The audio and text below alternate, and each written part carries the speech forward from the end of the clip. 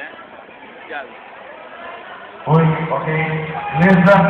Oi, oi! Alô, minha gente! Alô, minha gente! É pouco.